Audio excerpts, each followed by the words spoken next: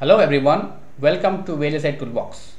Today I will be talking about how to find process parameters of any technology node using cadence simulation. So let's see what are the process parameters. So these are the process parameters mu p cox, mu1 cox, mu p cox of uh, PMOS, mu1 cox of NMOS, VTH of PMOS, VTH of NMOS. So these are the parameters we are uh, targeting to find out using this demo. Know that uh, beta effective is equal to mu cx w by l. This is well known formula. Using this formula, we will uh, find out what is the value of mu cx or mu1 cx or bp cx. So let's uh, go to the demo and see how it can be found out.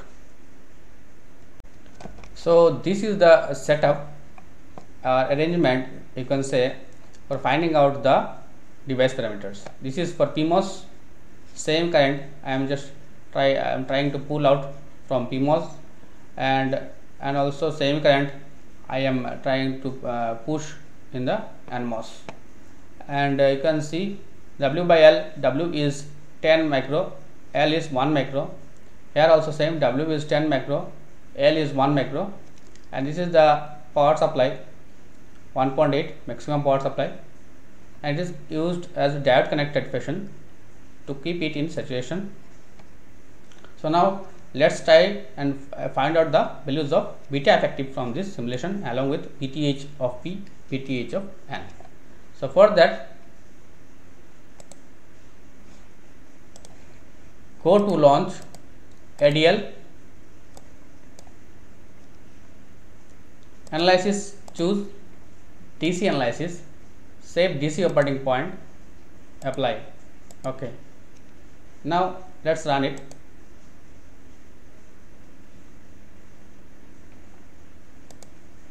Now go to the results. Print. DC operating point. So if you click on any device suppose I am clicking on NMOS. So you will see the result display window pops up. Here you can see beta effective. 2.979 milli and you can also find out the VTH VTH 385 milli. Okay.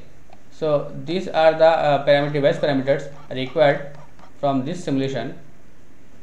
And you can also see the parameter of PMOS click on PMOS it will give beta effective 641.1 micro. And this is the VTH of P you can note it down. So using these values beta effective values we will uh, try to find out the values of mu1 cx and mu p cx respectively. So let's check it out in the calculation part. Just note it down beta effective effective for PMOS is 641.1 micro and beta effective for NMOS is 297 2.979 milli for NMOS.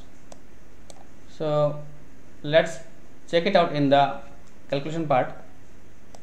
So here you can see for mu1 Cx I have just substituted the values that I have got from the simulation. As you know uh, L is 1 micro, W is 10 micro.